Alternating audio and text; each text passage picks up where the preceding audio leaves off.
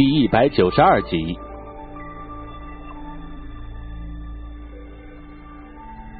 我不过一妇人，不过一美色，君上便如此即可，都不惧因此招来无边的祸害吗？不得不说，魏洛无论是威压、眼神还是语句，都是极具说服力。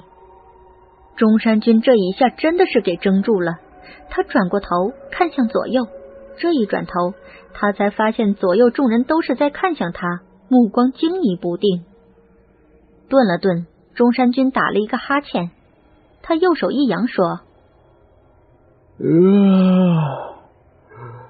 多言辞杂杂，浑然有理。退去，退去。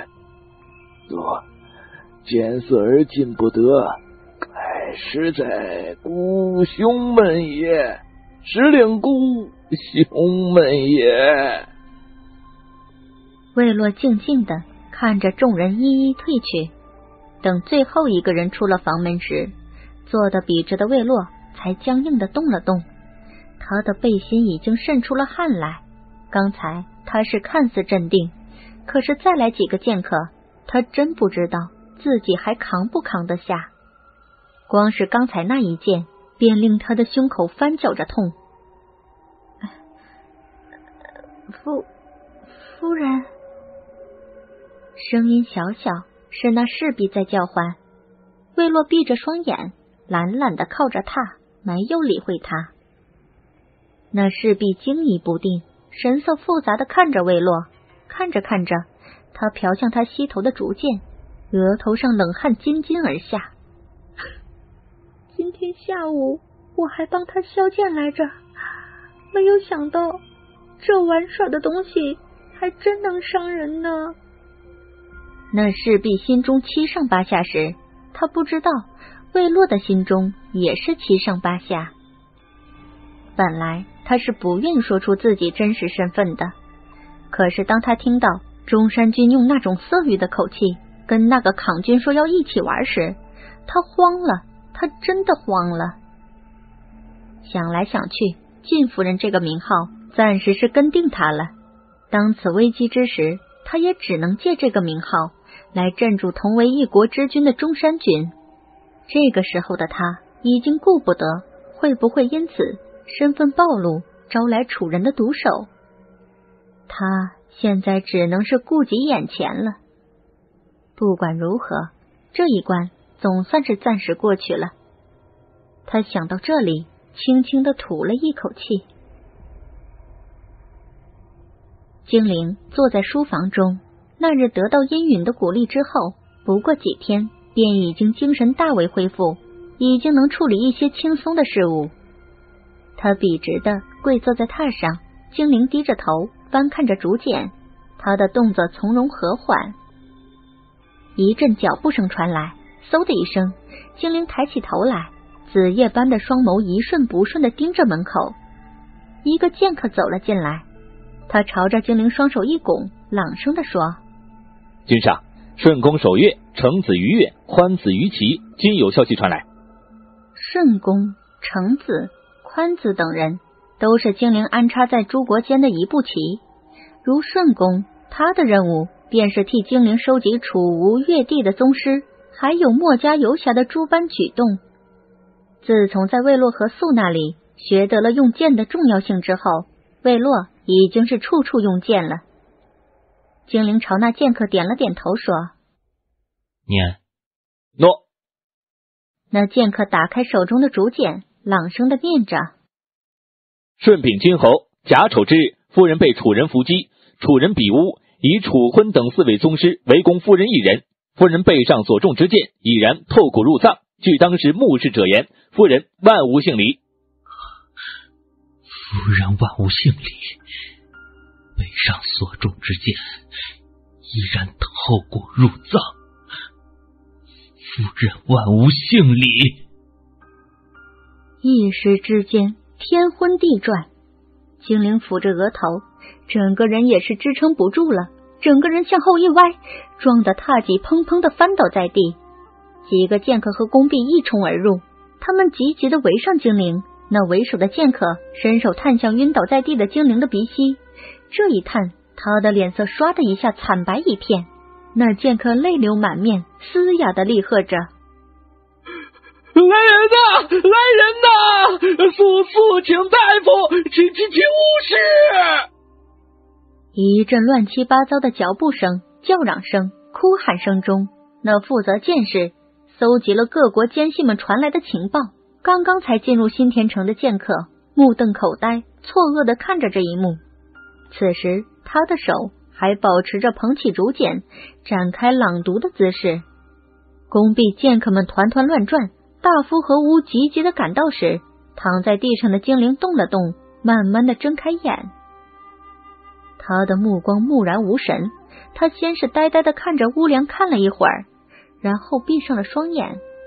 当他再次睁开眼时，那眼神依旧是有点木然，不过添了一份冷静。围在他身边的众人对上他这样的目光，同时心中一安。精灵盯向一个剑客，那剑客连忙上前，把他慢慢的扶着坐起。君上，众人同时向精灵一跪，伏倒在地。而这时。庆军和药公等人大步踏入，他们一进来便看到精灵脸色虽然苍白中透着青，那双眼却是有着神光的，顿时心中大安。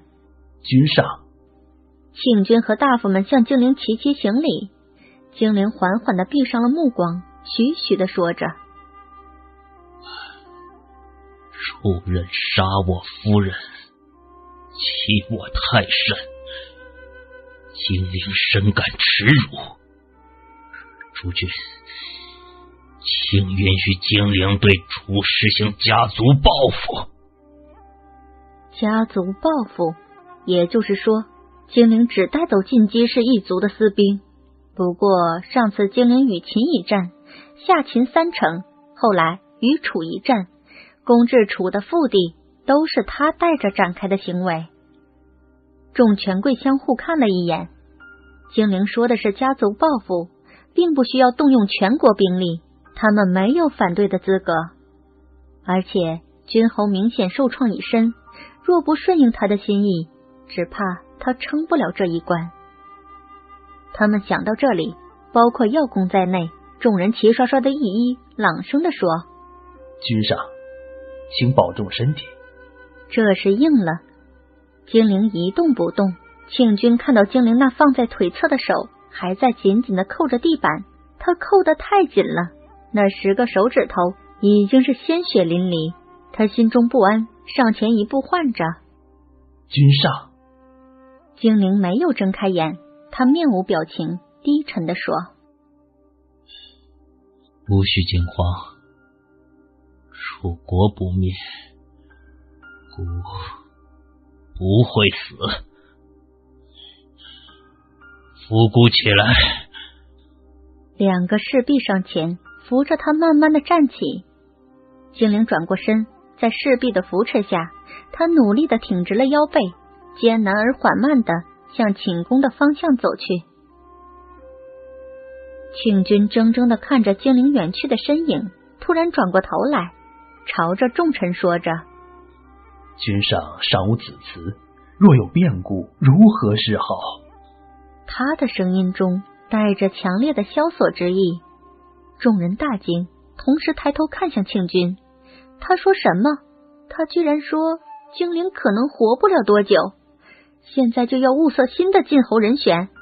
不，如果没有了精灵，晋国想要称霸，不知要拖到何时才行？不行，他们的梦想。他们的雄心不能就这么放下呀！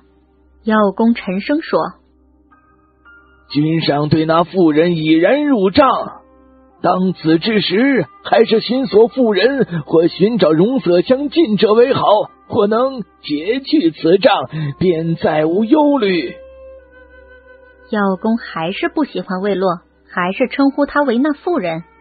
不过他虽然不喜欢，却也认了，却也无可奈何了。众人一一点头，药公转过头看向那个负责剑士的剑客，恼着说：“我等百计隐藏，你你倒好，他气得不知说什么好。这个剑客虽然是做剑客打扮，实际上也是一个士，可以说是文武双全。这样的人是精灵手下的重要时刻，药公虽然气愤，却也只能这么呵斥一句。那剑客白着脸，拱着手，无言以对。庆军在一侧叹着说：“此事到此，多说何意？走吧。”夜深了，那侍婢不停的催促魏洛，要他去洗浴。魏洛已经三天没有清洗，他也是身上油腻难受。不过他可不愿意为了干净，在这种虎狼之地行冒险之举。因此，魏洛一动不动，任由那个侍婢怎么叫唤。他把竹剑放在身侧，睡觉时他也只是倚着榻，使自己处于随时可以清醒的状态。魏洛知道中山君定还是在打着自己的主意。他若是真的当自己是晋侯夫人，此时便应该把自己迎回驿馆，以贵族之礼相候的。可是他什么都没有做，他还不能松懈。睡在陌生的床榻上，魏洛仰望着外面悠悠透射进来的月光。心思百转。一大早，魏洛是被一群娇娇丽丽的女人嬉笑声给惊醒的。本来睡得极浅的魏洛，当下从榻上站起来，到了纱窗处。哼，昨天晚上君上夜宿，两位姐姐怎的还起得如此之早？哼，君上与抗君可生猛乎？这个声音。是三个上等美人中的另一个发出的，那声音中无不妒意。一个女子娇慵的声音传来：“嗯，生猛倒是生猛，可君侯与抗君一个晚上都在念着那个什么晋夫人。”魏洛听到这里，脸色一沉。这个中山君不但没有把自己当成贵族，还色心不死。自己的话都说的这么重了，他竟然没有警觉。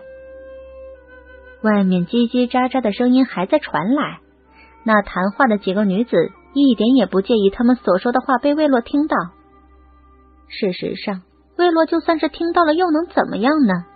在他们的思维中，是万万不敢相信，堂堂晋夫人居然跑到深山老林中一个人待着。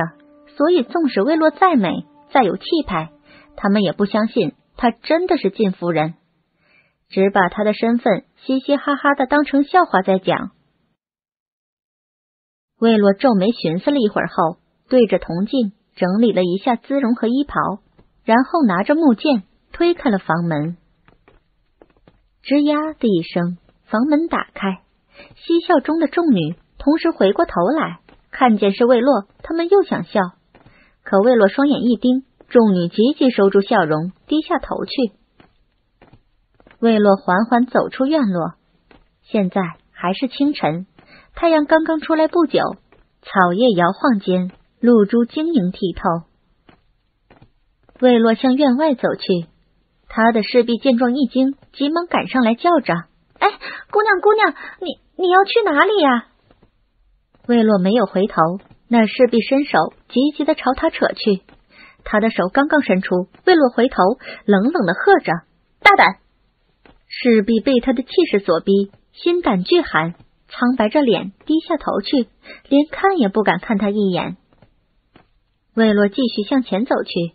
这时，中山君还在睡着，他的剑客们正守在廊下，看到了这一幕，他们相互看了一眼，没有动作。毕竟他们的职责。只是保护中山君和中山君的近臣。再说了，中山君对美人可是最心软的，他们可不敢自作主张。要是激怒了那美人，他到中山君面前告上一状，他们的性命可就难保了。因此，十几个剑客相互看了一眼后，继续肃然而立，摆出一副什么也没有看到的样子。魏洛跨出了院落。中山国是一个小国。他的工程都是按照越楚之国的工程建立的，规模比之那两国可要是小得多呢。魏洛只是一眼便判断了宫门朝哪个方向开的，当下他大步的向宫门的方向走去。宫中的侍婢、剑客们、士、姬，众人此时都是瞪大了双眼，傻乎乎的看着魏洛，看着他从从容容的向前走去。走出二百步时，魏洛正面遇到了一队剑客，这些剑客是负责攻城防卫的，也就是说，他们是管辖魏洛的。他们看到魏洛径直走来，都是睁大了眼，一瞬不瞬的盯着他，一脸痴迷之相。魏洛从从容容的越过他们，继续向前走去，望着他的背影，一个剑客喃喃的说着：“君上好有艳福，死妻之美远胜他人。”另一个剑客也是深袖拭去了口水。哎，如此绝代佳人，我若是君上，他都不离了，晚晚欢好。直到他走出了一百步，剑客中的小队长才从痴迷经验中突然清醒过来。他朝着魏洛唤了一句，魏洛回过头来，朝他冷冷一瞟，这一瞟间，目光高傲中带着威严。那小队长一凛，竟是说不出话来。魏洛继续向前走去。中山宫中，从上到下都喜欢做彻夜之欢，这般清晨时来往的人最是稀少。饶是如此，此时此刻，魏洛的左右树林中也是伸出了无数的脑袋来，他们都是好奇、惊艳的打量着魏洛，朝着他流着口水。这些痴迷于他美色中的人，不只是有男的，还有不少宫女。那小队长瞪着魏洛远去的身影，转头朝身后的众人问着：“此贵女何人也？”众人摇摇头。那小队长又是转头看向魏洛，见他离宫门越来越近，他皱着眉说：“不错，我去禀报世君。”世君是他的上司。这时。魏洛的侍婢也是清醒过来，他急急的转头看向身后，向着另外几个侍婢颤声的问着：“这这如何是好呀？”他是在问他该如何应付。一个侍婢最是机灵，他连忙说着：“嗯，且让君上做主。”然，这是好主意。那侍婢连忙来到中山君的剑客面前，他朝着他们盈盈一跪说。诸君，奴主自行出院，请禀君上。一个剑客大步的向房间走去，他走到房门外，头一低，插手朗声说：“禀君上，王所献之婢士自行走离院落。”嗯嗯，里面隐隐传来的是中山君的轻哼声，隐隐一听还有抗君梦语。那剑客声音一提，再次朗声说。禀君上，芒所现之婢士自行走离院落。稀稀的移动声中，中山君含糊的恼怒的声音传来：“太吵！”那剑客面不改色，他的声音再次一提，再度朗声说：“禀君上，芒所献之婢士自行走离院落。”又是一阵一语和中山君的迷糊喝骂。康军突然惊醒，他在里面急急的问着。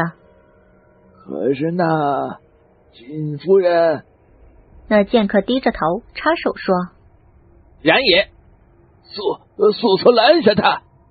君上之意。”康君摇了摇睡得好不香甜的中山君，朝着他的耳边大声的喝着：“下令拦截！”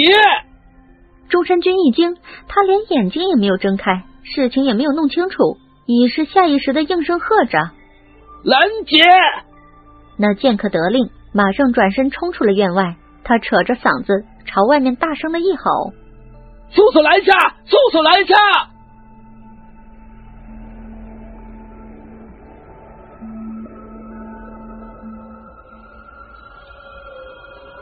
欢迎大家继续收听。